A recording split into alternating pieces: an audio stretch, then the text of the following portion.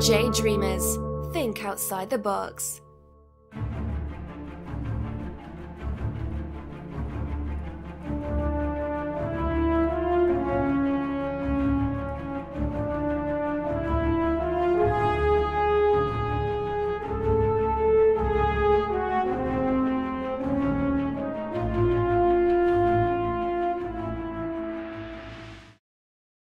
Hey, what's up everybody? It's JayDreamerZ. Now I saw a picture of this online, so I had to come here to find out for myself, put my hands on it, and see if indeed it was real.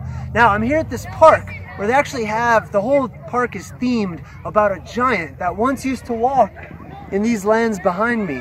Um, they says, the story says that something happened and the sky became empty which is when I believe those ancient giant trees were all cut down and now you can see so much more of the sky in the background. Now, is this a real giant or titan's foot?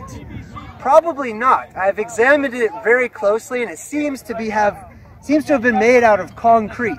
While it's made out of cement, the truth behind it and the story behind the titan that once walked this particular area rings true. Not just because somebody made a cement image of it, but because there are so many stories that have been left over and left to us. While we don't dismiss these things because it's made out of concrete, we recognize and we ask ourselves why? Why do these things permeate our culture? Why are these types of things making it and standing the test of time?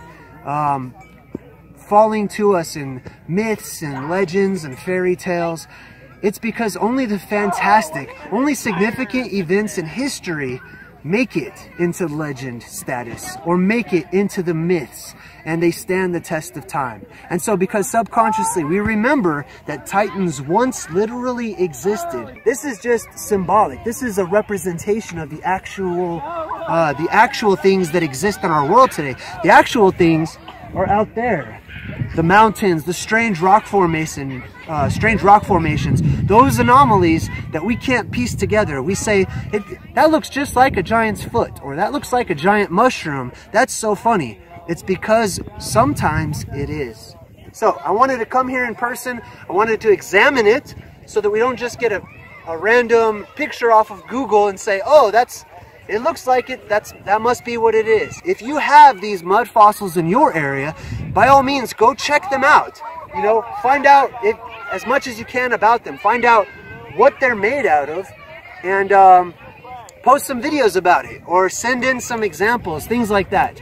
Um, this one happened to be, a, you know, uh, a few hours out of the way from where I live, but my family and I happily traveled out here to come put our hands on it to find out what it's about. Now this one right here, this one was created by man. But why was it created? Why was it put here? Who decided to put a giant lying dead in the middle of a playground? Why is there a giant titan turned into rock, a dead one, in the middle of where a bunch of kids play? I'll tell you why. It's because some of those people that run our world, they know what's happened in our esoteric and hidden past. They understand that the titans once walked our realm the flood came and cataclysm struck, destroying Atlantis and all of the rest of the world.